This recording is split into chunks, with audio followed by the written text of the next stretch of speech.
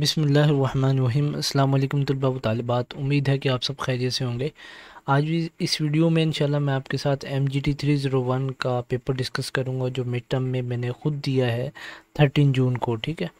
तो आज मैंने ये चार बजकर कुछ मिनटों पर पेपर दिया है तो मैं आपके साथ डिस्कस करूँगा।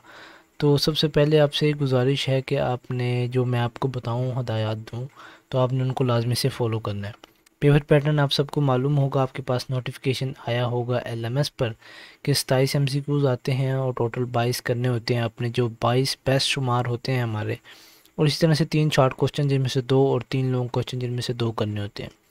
एम सी कुछ पोर्शन के बारे में मैं कुछ आपको मालूम देना चाहूँगा कि एम सी जितने भी आए ट्वेंटी सेवन एम सी वो सारे कंसेपचुअल थे, कोई भी ईजी नहीं था। सिवाय एक दो के, शायद मेरे पास थीम में खुला हो अभी theme four theme three market R O I यहाँ से जाकर ये जो आपके कैश का हाउस ये सिर्फ़ इजी था कि जिसकी लो ग्रोथ होती है और हाई मार्केट शेयर होते हैं। बाकी तकरीबन सारे एम सी क्यूज़ डिफ़िकल्ट आए हुए थे। तो मैं उसको इंशाल्लाह आपके साथ डिस्कस करता हूँ वीडियो के एंड में। अगर आप देखना चाहें तो एम सी क्यूज़ मैं आपको करवाऊँगा। अगर आप वो कर लेंगे तो इंशाल्लाह आपके काफ़ी हैंड आउट से करवाऊँगा, ठीक है? जो टेक्निकल हमारे पास है।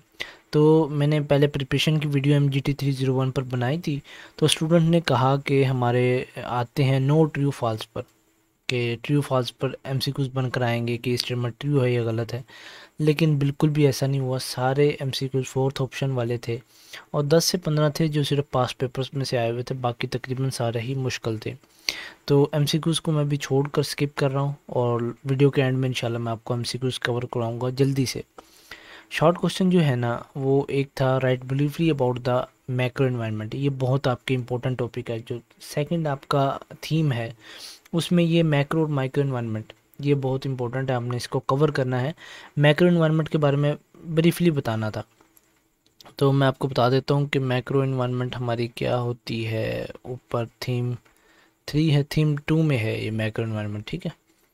तो राइवल्स हैं यहाँ मैक्रो इन्वायरमेंट यहाँ से आप इसको शॉर्ट से बना, बता सकते हैं कि micro environment mentions the overall और broader environment that can affect the working of all business enterprises it actually affects the functioning of all the business entities operating in the economy these environmental factors are beyond to control of marketers but they still influence the decision made when creating a strategic marketing plan तो ऊपर दिए गए इसमें सारा तकरीबन दिया गया और इसमें से एक लॉन्ग क्वेश्चन भी आया था तो नेक्स्ट हमारे पास शॉर्ट क्वेश्चन है how companies are getting their customer interest information briefly discuss कि किस तरह से कंपनीज़ अपनी इंफॉर्मेशन गेन करती हैं कि जो हमारे कस्टमर हैं, वो किस चीज़ को पसंद करते हैं, फिर उसी हवाले से वो प्रोडक्ट को लॉन्च करते हैं।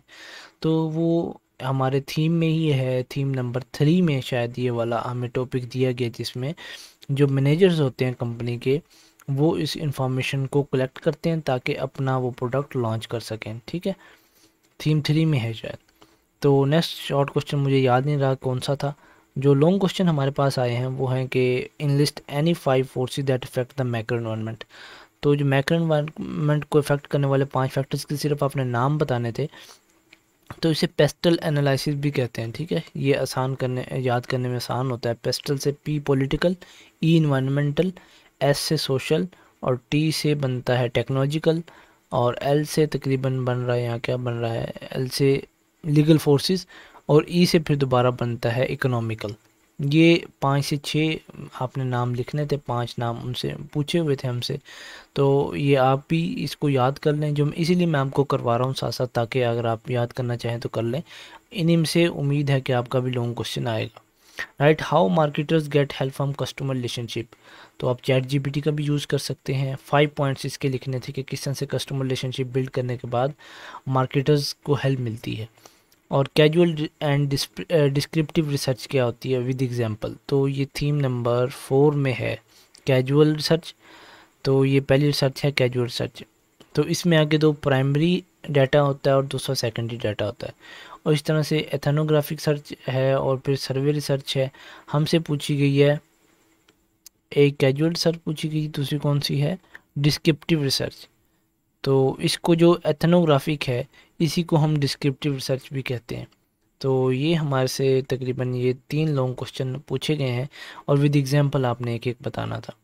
तो मेन टिप्स देने से पहले मैं आपको थोड़े से एम कवर करवा देता हूँ जो कि बहुत इम्पोर्टेंट है। कि एक तो है, मैं एक मिनट ज़रा देखिएगा, ये हमारे शॉर्ट क्वेश्चन दिए गए हैं।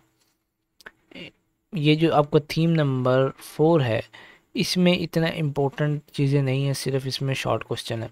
इंटरनल डाटा है कि इंटरनल डाटा क्या होता है और एक्सटर्नल डाटा क्या होता है, ये आपका डिफरेंस आ सकता है शॉर्ट क्वेश्चन में भी आ सकता है। बाकी मैं थीम नंबर थ्री की तरह चलता हूँ, उसमें मैं आपको करवा देता हूँ एम सी कुछ, ठीक है? तो marketing strategy is basically response of marketing to its environment तो ये इस तरह से ये वाला शॉर्ट क्वेश्चन आपका बन सकता है, मैं पॉइंटर कौन करता हूँ। और तो हमारे पास ये हमने इसमें पढ़ने थे। थीम नंबर थ्री में, ठीक है? तो फैक्टर्स आगे हमारे पास, ये पेस्टल यही हमारा जो वहाँ लॉन्ग क्वेश्चन बन के आया हुआ था, ये यही था।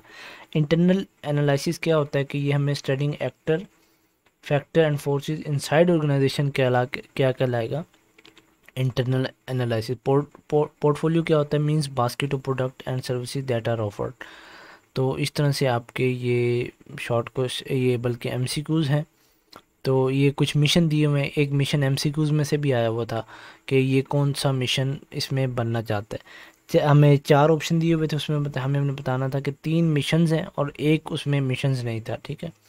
तो मैं आपको थोड़ा सा डिटेल से बता देता हूँ कि विजन जो होता है कंपनी का, वो होता है लॉन्ग टर्म डायरेक्शन और जो मिशन होता है, वो कंपनी का पर्पज़ होता है और जो कंपनी के ऑब्जेक्टिव होती हैं, वो मकासद होते हैं कि हमने इसको किस तरह से हासिल करना है।